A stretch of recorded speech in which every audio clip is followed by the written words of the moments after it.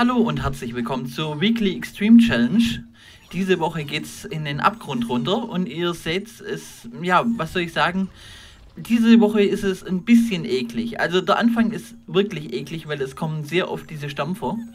Ähm, ich zeige sie gleich nochmal und die kann ich eigentlich überhaupt nicht leiden. Äh, hier am Anfang geht es eigentlich noch die ersten 200 Meter ähm, ist noch alles ziemlich okay und jetzt beginnt es dann ganz langsam. Hier kommt schon der erste, den ich meine. Von denen haben wir drei jetzt direkt hintereinander fast.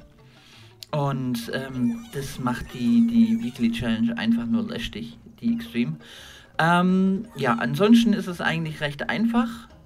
Das heißt, bis zu 1000 Meter solltet ihr eigentlich keine Probleme haben. Ich sage euch aber nochmal die, die paar schwierigen Stellen.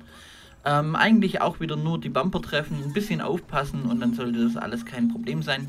Hier die Ringe kennen wir ja schon. Das heißt, hier einfach auch wieder den langsamen Flattermann machen. Hier können wir wieder schnell durch. Hier springen wir auch wieder auf den Bumper. Und dann kommt schon nochmal so ein Ring.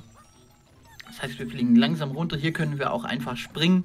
Aber sicherer ist es natürlich einfach, wenn man den Flug halt eben macht. Ähm, ja, ich lasse mich immer so ein bisschen abdriften, damit es nicht ganz so lang dauert. Hier ist wieder eine kurze Pause bei den, das war die 600 Meter Pause ungefähr. Und das kennen wir ja auch schon. Wenn er gerade aufmacht, dann schnell durchfallen lassen. Und äh, dann sollte das alles gar kein Problem sein. Die Looms beachten wir beim freien Fall überhaupt nicht. Ähm, die bringen uns eigentlich nichts, beziehungsweise manchmal lenken sie einfach ab von dem Geschehen drumherum. Die Ketten hier, je weniger wir uns laufen lassen, desto weniger haben wir so eine seitliche Beschleunigung und desto einfacher ist es zum Schaffen. Das hier kennen wir auch. Einfach durchschwingen lassen immer und danach einfach hier auch wieder. Dann bekommen wir hier eine kurze Pause.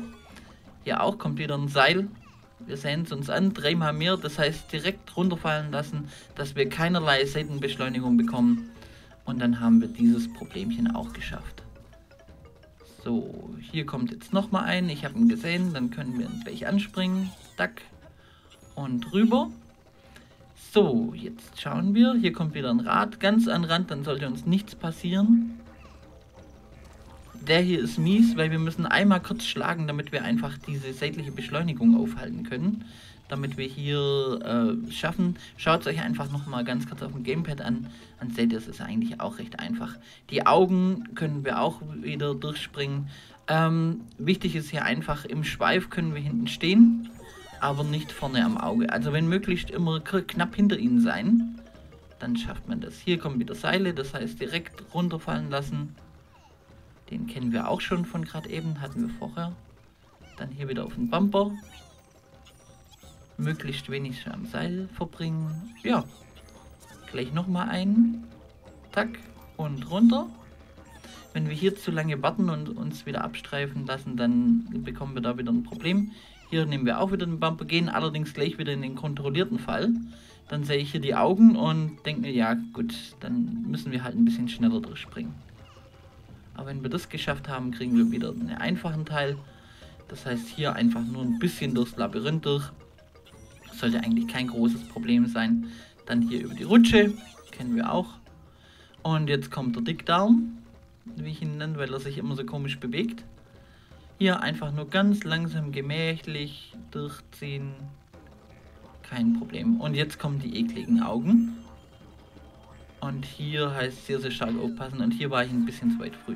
Ich werde es allerdings diese Woche nochmal probieren um einen besseren äh, Platz zu machen, 1300, das sollte man eigentlich noch ausbauen können. Ich danke euch aber vielmals fürs, äh, fürs Zuschauen und wünsche euch viel Glück beim selbermachen. Und ja, wenn es geklappt hat, dann gebt ein Like.